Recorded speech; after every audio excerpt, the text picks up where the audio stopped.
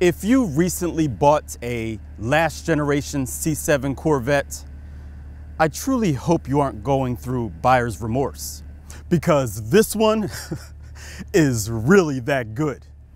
I'm Chris from Auto Academics, and today we're gonna take a look at the all new 2020 Chevrolet Corvette Stingray Z51 Coupe. So yeah, maybe I'm being a little dramatic, cause last gen's Vette was a nice car. It's just that this C8 is that much better. So let's get started. Blowing us away is this Zeus Bronze Metallic 2020 Corvette Stingray Z51 Coupe. Standard features include LED headlamps, daytime running lamps, and tail lamps, removable body color roof, and remote vehicle start.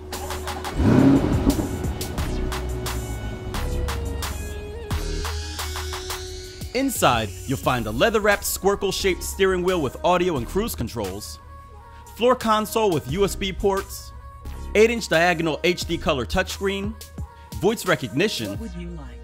Apple CarPlay and Android Auto, 12-inch diagonal driver information center with selectable modes, near-field communication, 3-month all-access trial to SiriusXM radio, OnStar services with 4G LTE Wi-Fi, and keyless open with push button start.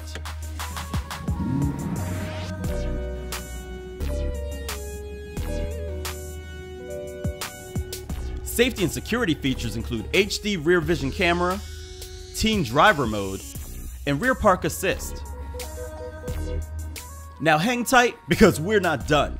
The optional 3LT Coupe Premium Equipment Package adds a ton, including Chevrolet Infotainment 3 Premium System with navigation, a nice sounding Bose Performance Series 14 speaker audio system, cargo nets, head up display, HD front curb view camera, memory driver and passenger convenience package, rear camera mirror, performance data and video recorder, GT2 bucket seats with power lumbar control and seat bolsters, heated steering wheel, heated and ventilated seats, custom leather wrapped interior package, suede microfiber wrapped upper interior trim package, custom leather wrapped instrument panel and doors, universal home remote, wireless charging, power heated and folding outside mirrors with turn indicators, side blind zone alert, and rear cross traffic alert. The Z51 Performance Package gives you Z51 Performance brakes, Z51 Performance Suspension, Performance Exhaust, Performance Rear Axle Ratio, Electronic Limited Slip Differential, Z51 Rear Spoiler, High Performance Run Flat Tires, and Heavy Duty Cooling System. This car also has the fantastic magnetic ride control, as well as front lift adjustable height with memory, Staggered 19-inch front and 20-inch rear 5 Trident spoke machined face sterling silver painted aluminum wheels with respective 245-35 front and 305-30 rear Pirelli Sottozero 3 winter performance run flat tires were installed. Whew! and then we wrap things up with the engine appearance package and chrome exterior badge package. After almost $23,000 worth of options, you get a total MSRP of $82,925. This has got to be one of the most beautiful cars that Chevrolet has ever made. No, this has got to be one of the most beautiful cars that General Motors has ever made. Look at how the functional cooling and aerodynamic intakes melt into the body, and in true exotic fashion, the engine is on display beneath the glass panel. Because the front engine Corvette had basically reached its limits of performance, Chevrolet decided to move to a mid-engine layout. You know, like the Prancing Horse and Lambo. This design now allows for two trunks. Well, a more traditional trunk and a frunk. The trunk is narrow but has some depth to it, and the front storage has enough space for an airline spec carry-on, as well as a laptop bag. Combined, both front and rear storage provide an impressive total of 12.6 cubic feet of space. The rear storage area is also the perfect place to stow the removable roof panel. Just roll the windows down, then undo the two latches behind the sun visors and the one in rear. And with a little leverage, an individual can remove and stow it for open air driving.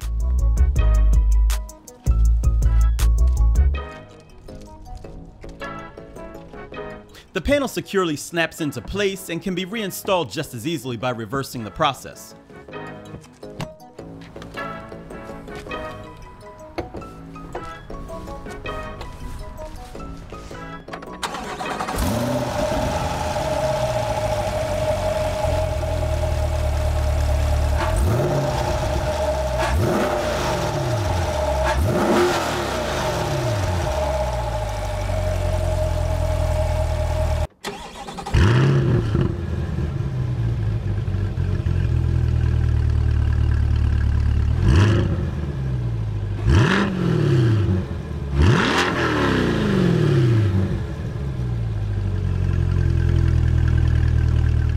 Located just in front of the rear wheels is a 6.2 liter small block V8 LT2 engine with active fuel management that produces 495 horsepower and 470 pound feet of torque when equipped with the Z51 package. All that power is directed through Chevy's first 8-speed dual-clutch transmission with paddle shifters, sending power to the rear wheels. There are six drive modes consisting of weather, tour, sport, and track, as well as two new ones, My Mode and Z Mode. My mode allows you to adjust the engine sound, steering, suspension, and brake response, while Z mode, despite it reminding me of something another manufacturer might use, was named after the Z06, ZR1, and Z51 performance packages and adds a powertrain setting to the mix. This mode is initiated via the press of the Z button on the steering wheel. With the right settings and conditions, this Z51 trim reaches 0 to 60 in an amazing 2.9 seconds and doesn't stop accelerating till 194 miles per hour is reached.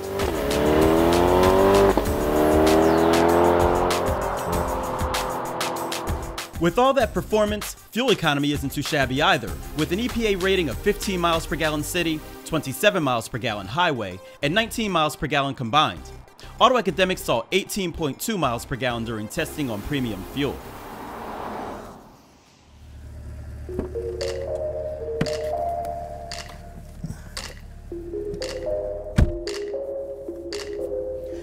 You immediately notice the improvements that Chevy's made to the interior when compared to last gen. I mean, it truly looks luxurious. The steering wheel looks a little funky, but it feels great and was designed to maximize view of the instrument cluster. Not to mention, the vertical climate controls are rather busy, yet they too increase space. These mid-tier seats feel fantastic, and unlike in the C7, I can actually see out of the front of the C8. so now that we've addressed all of that, it's time to take it out and see how it drives.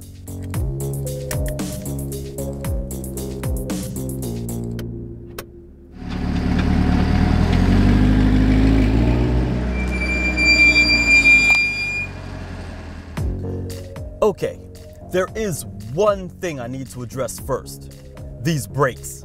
They squeal unbelievably loud. And while I understand that some high performance brakes are prone to do that, this is ridiculous and embarrassing. It only happens at low speeds, which means anybody around notices, and it's not hard to. I did a little research and it wasn't difficult to find actual owners with similar concerns. Chevy, I realize that if you're gonna track this car, it's not a big deal. But as a daily driver, you've got to address this one. All right, now we can go.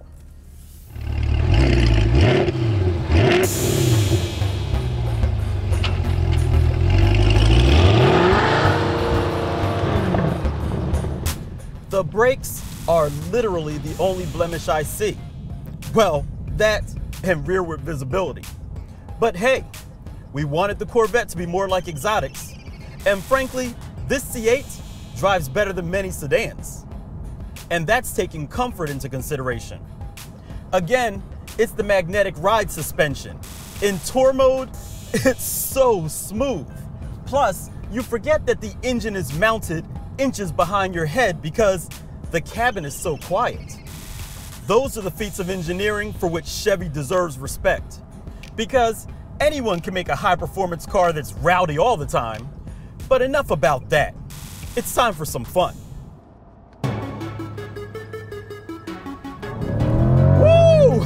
I think I woke it. There's nothing like the sound of a naturally aspirated V8 engine. The power is so smooth and deliberate. And this transmission is sweet. It too can be smooth, yet it also bangs out shifts when required.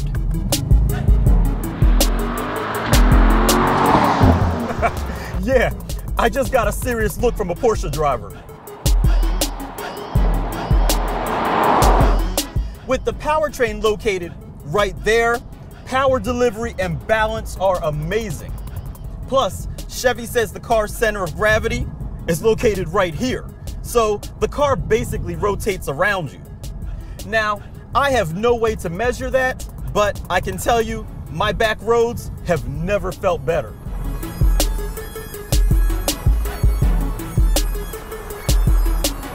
Another nice feature that this car has is the front end nose lift.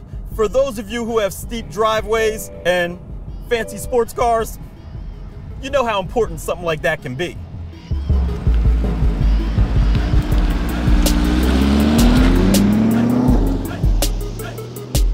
Top-down driving is nice as well. Designed from the ground up with the convertible version in mind, the C8 Coupe offers about 85% of the drop top's panache when you want it, while still providing that buttoned up feel when you don't. There are no vibrations or even any crazy wind buffeting when the top is off, so conversations can still be had, or you can just listen to the strong audio system. Scratch that, just listen to the exhaust. It's way more musical. You know, most high performance cars have a way of scaring you into their favor. But not this C8, even when you're pushing your own limits. Well done, Chevy.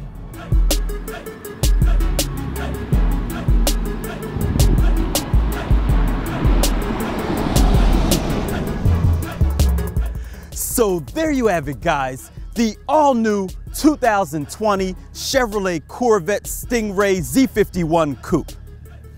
Every once in a while, I get a car for review that I would totally add to my personal car buying list.